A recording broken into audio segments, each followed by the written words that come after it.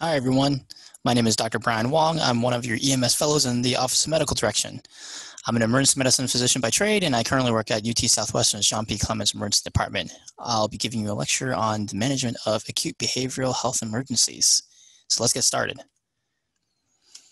So here's our agenda. I'm going to be going over why does this matter, the definition of behavioral health emergencies, the debate between excited delirium and hyperactive delirium with agitation, the pathophysiology and derangements of the hyperactive delirium with agitation, history physicals and things to watch out for, as well as management.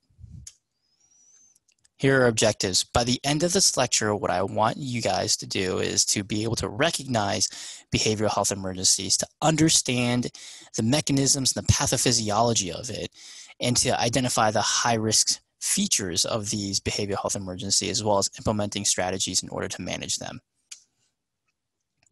So I will be upfront with this disclaimer. There will be content in this lecture that will be disturbing for some of you.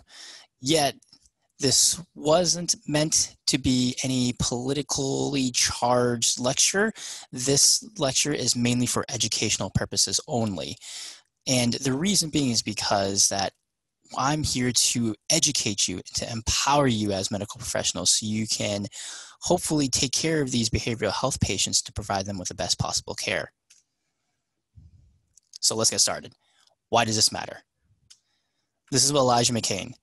He was a 23 year old black male who was a massage therapist uh, in Colorado. He was walking through Aurora in one of the suburban neighborhoods when a bystander called police for a quote suspicious looking male wearing a ski mask and flailing his arms. In reality, he was just wearing his headphones and just dancing to the music, dancing down the street. So, three officers stopped him and began a physical altercation. They utilized a carotid neck restraint and put knees into his back. He kept on stating that he couldn't breathe and that he was just dancing down the street. After the physical restraining, the, the paramedics came on scene and were told that he was, quote, acting crazy and, quote, was definitely on something.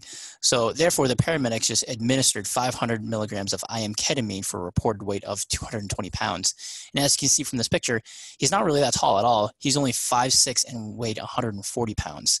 So after that, he stopped breathing and then he ended up losing pulses and then he died a few days later in the hospital. So in this case, this was a misrepresented case of a behavioral health emergency, specifically excited delirium. Um, and I put this slide up here is because that we need to be advocates for our patients so that we don't jump to conclusions and cause the patients any further harm we need to be better at identifying and managing these behavior potential behavioral health emergencies. It's kind of like when we ask you f- to do CPR, but you don't have your ACLS uh, certification, and we don't ask you to do trauma without ATLS. So why are we doing behavioral health emergencies without proper education and training? So this matters. This matters significantly. So I'm going to be showing you a video of a man named Paul Tarashuk who was suffering from schizophrenia, and EMTs responded to the scene after being called by PD. So let's watch.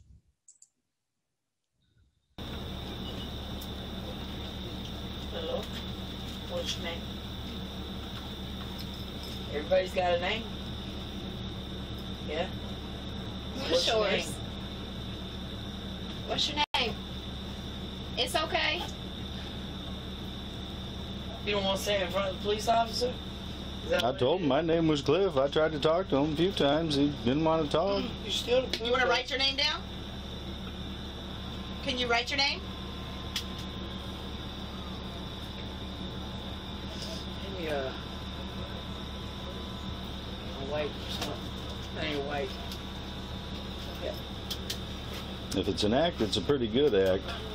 Yeah. Because I see the same thing when I see a variety of drugs being used.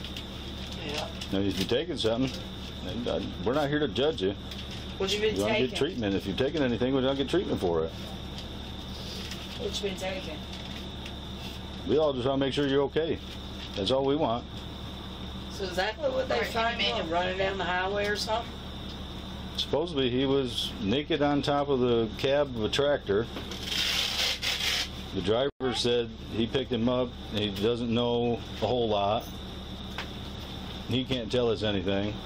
Where you from? This young man's not saying anything. You ain't got no ID? Hey, where you from? Seriously, talk to us. We want to get you some help.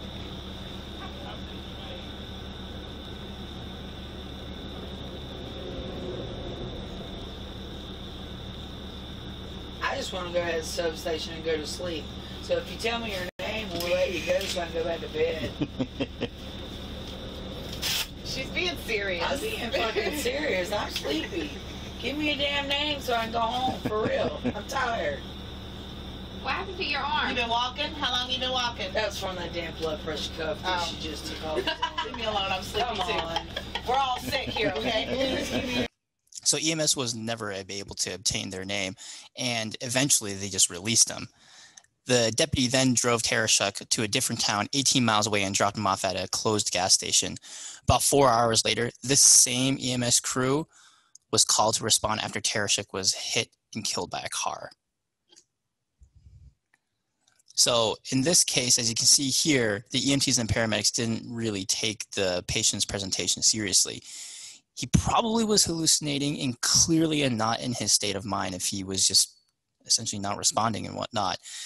The crew had a chance to intervene and to get him the right care, but instead blew him off and it cost him his life. And so this is the reason why that behavioral health emergencies is so important too, because if you're not on your game and you can potentially blow off these presentations and these patients can seriously suffer. And in this case, it cost someone his life.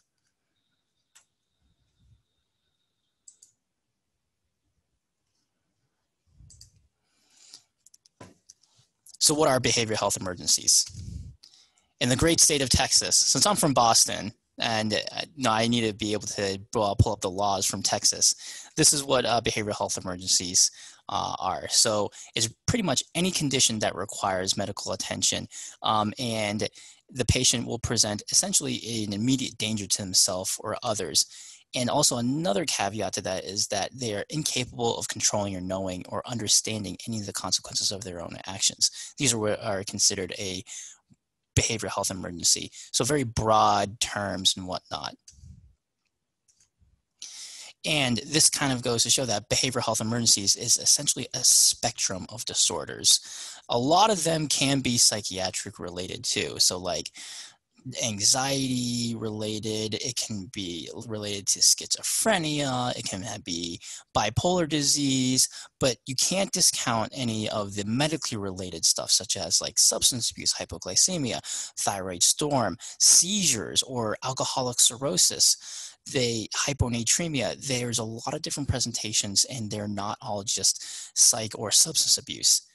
They can present completely calm and in a cooperative manner which is are in, essentially the majority of your behavioral health cases but they can also be completely agitated altered and also violent. Which then comes into the term that most people know is called excited delirium that is no longer the accepted term. Originally, the white paper report on excited delirium syndrome was created by the American College of Emergency Physicians. It was an attempt to describe this syndrome of excited delirium with some of the very limited scientific evidence that we have. However, there's been a huge controversy recently because of the fact that law enforcement officers were likely to utilize this term in order to justify the use of force and also forceful restraints, which uh, unfortunately itself can increase the risk of death due to positional or compressive asphyxia. So now the accepted term is hyperactive delirium with agitation.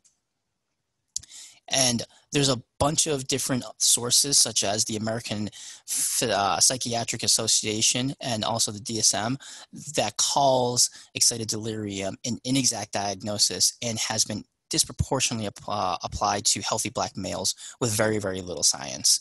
So, the American College of Emergency Physicians, as well as the National Association of EMS Physicians, have now accepted this definition of hyperactive delirium with agitation.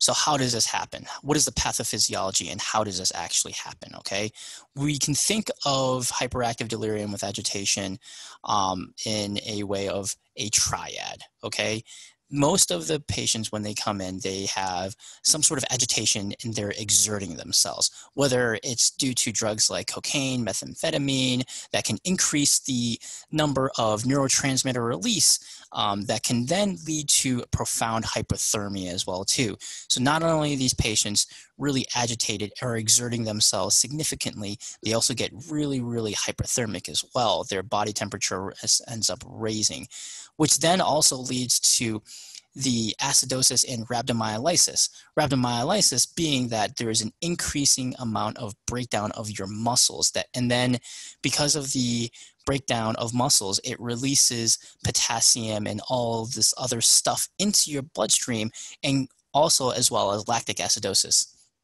So now you have this triad of agitation, hyperthermia, and acidosis and rhabdomyolysis, which releases all of this bad stuff into your bloodstream, which can potentially stop your heart and cause cardiovascular collapse. So this is a very unfortunate way of possibly dying. It's very important that y'all get a really good history and physical. The history is going to be the biggest thing to get.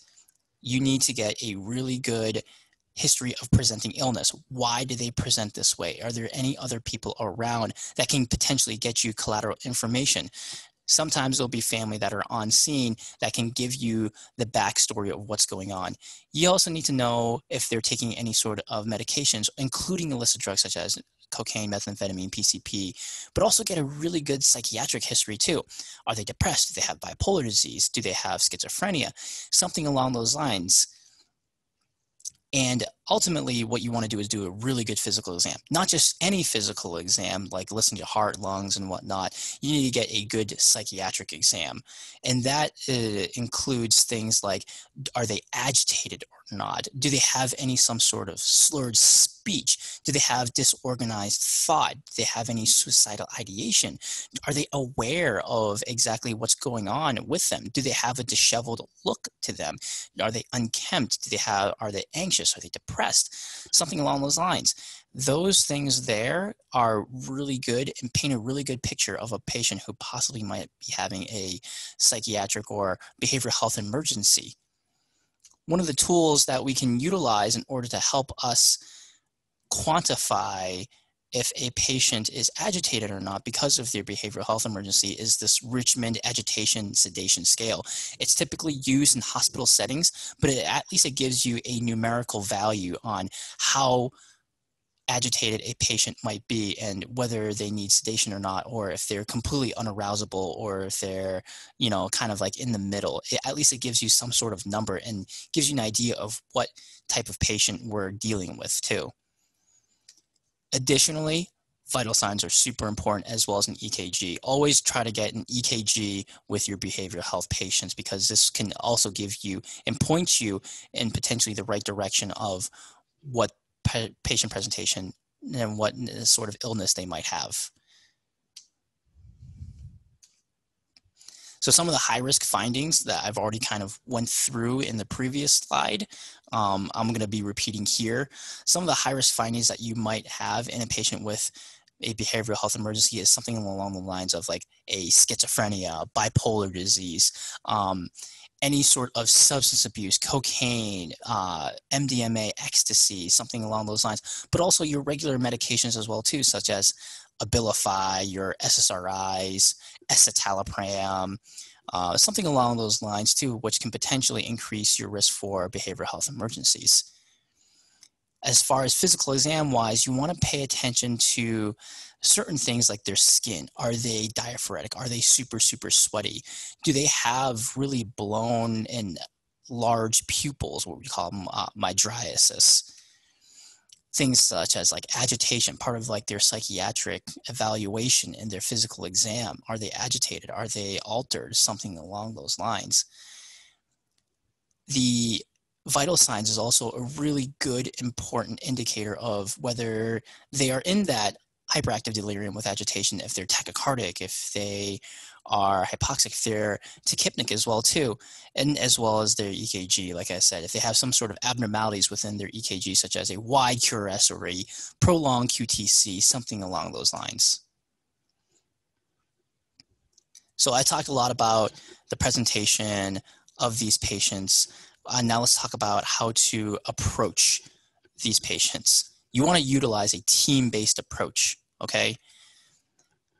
You always want to try to utilize the uh, resources that you have at your disposal. PD, FD, ALS, MedStar, all three of these organizations can try to work together in order to approach these patients and to try to get them the best care.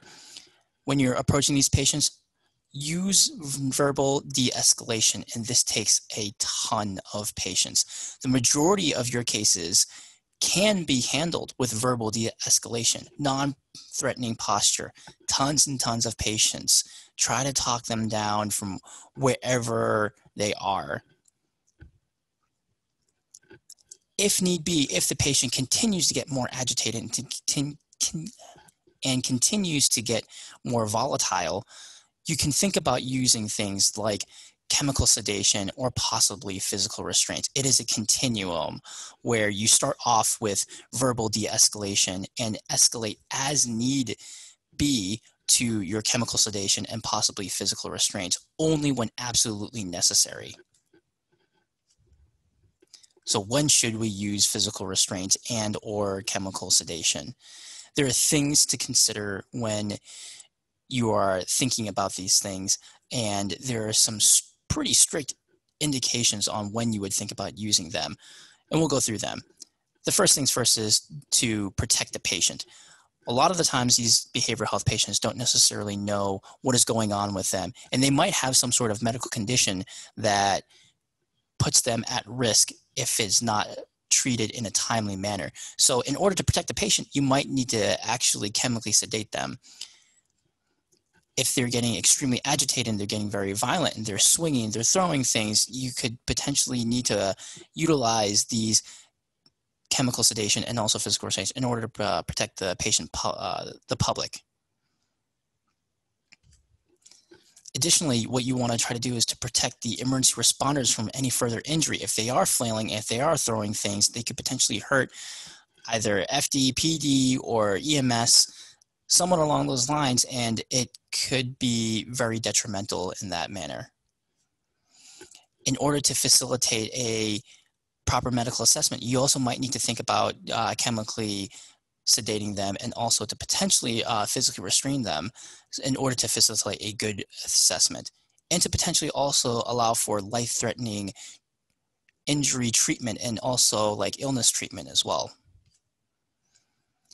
So one caveat I will say that EMS practitioners must never, never, never administer sedating medication to an individual in order to facilitate arrest or to assist with law enforcement in order to take the individual into custody.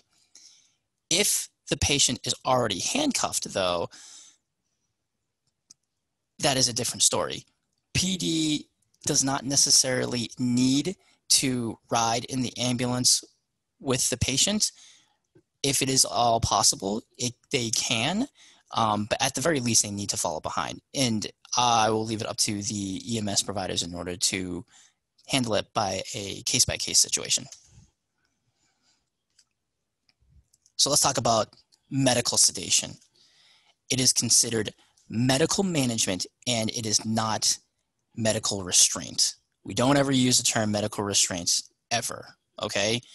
And there are plenty of medications that we can use in order to sedate the patient, in order to facilitate protecting the patient, the public, EMS responders, in order to facilitate a good uh, assessment one of the most common medications we can use is midazolam, Versed, uh, ketamine, and also haloperidol.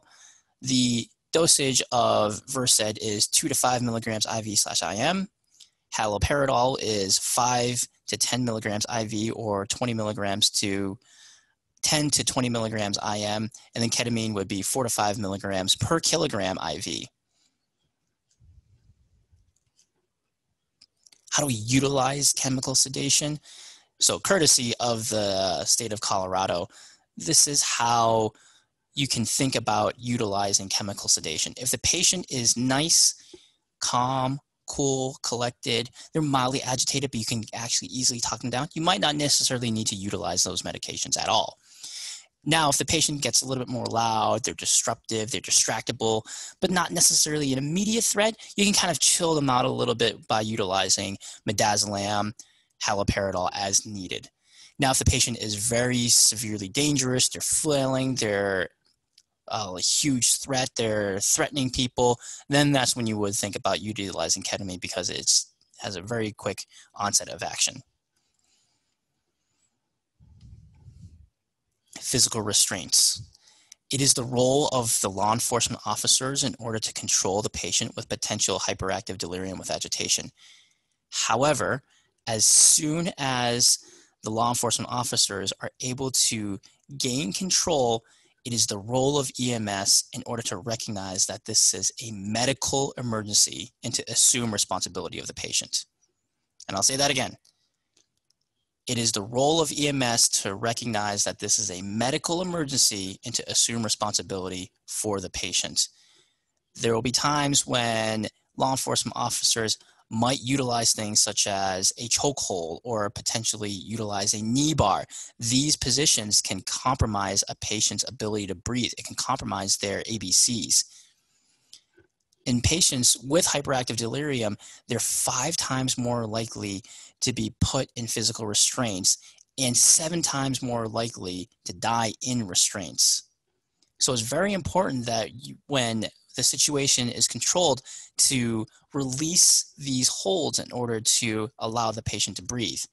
It is preferable to utilize things such as wrist restraints and also ankle restraints if absolutely need be. So once we have administered chemical sedation and or our physical restraints, the biggest thing that we need to do is monitor the patient we need to monitor their airway, airway, airway, airway. If they're unable to handle their secretions, if they have any sort of airway compromise, we need to be able to, and also ready to manage that airway. Check their breathing. Make sure that they have adequate chest rise and their fall, airway and breathing. Make sure that they are able to breathe. Utilize your adjuncts, including end tidal capnography those things will definitely help you and are a great indicator to see if the patient is breathing okay. If the patient is still agitated, though, and there are times when you might need to redose your medical sedations. And above all, make sure that safety is your priority. Safety for yourself, safety for the patient, safety for everyone around you. And to continuously assess the patient. So now that we've gone through all that information, let's go through a case. PD is concerned about a 45 year old male patient who is involved in a low speed motor vehicle accident. He has no visible trauma. He is speaking a little fast and he is saying that he's going to go save the world because of this new app that he's creating. When you ask him more questions, he says that he hasn't slept in three days and he bought tickets to Bali. When you're actually trying to examine him, he's actually pacing around really quickly, but he doesn't actually let you touch him or anything. So, how would you handle this situation? Would you A, verbal de escalate them with PD slash FD slash ALS as backup? Allow PD to restrain the patient via chokehold and knee bar. C, allow PD to repl- uh, place the patient in four point restraints. D, five milligrams of IV Haldol because he's a threat to himself and others. You can go ahead and pause this and think about your answer before restarting it.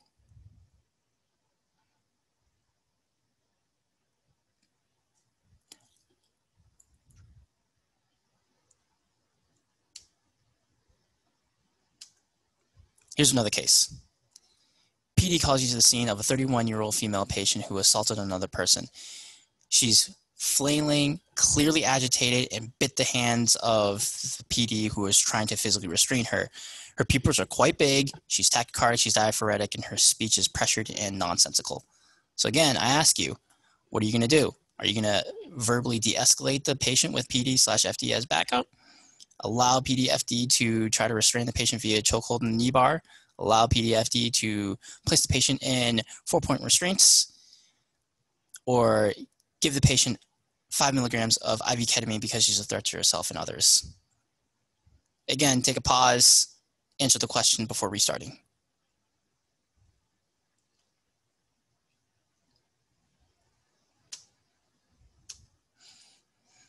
And finally, one more case.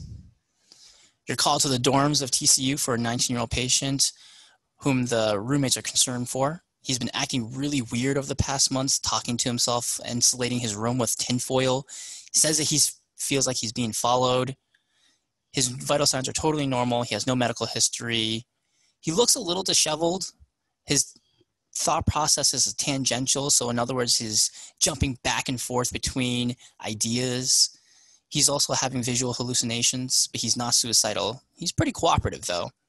So, what behavioral health emergency is this? Is this major depression, alcohol intoxication, meningitis, or schizophrenia? Again, pause, take a minute to answer the question.